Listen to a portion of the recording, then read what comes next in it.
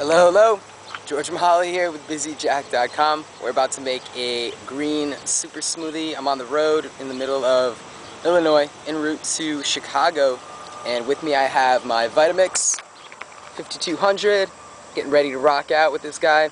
And my blender filled with, I think today I have cilantro, a uh, couple apples, gala apples, banana, lemon, and a bit of spirulina all that I've got left to rock out with the smoothie that I'm about to do inside the travel rest area.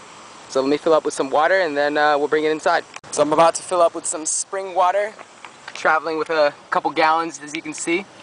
I got the blender ready to get filled up right here, so I'll bring it inside in just a second. I'll fill it up first.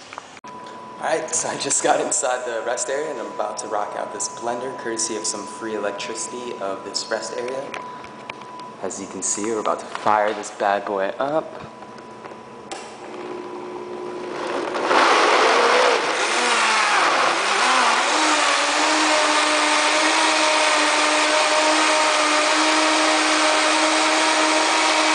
Alright, so we're back at my car. Just got done with uh, using the electricity source inside the rest area and I'm about to sip on my delicious green raw super smoothie.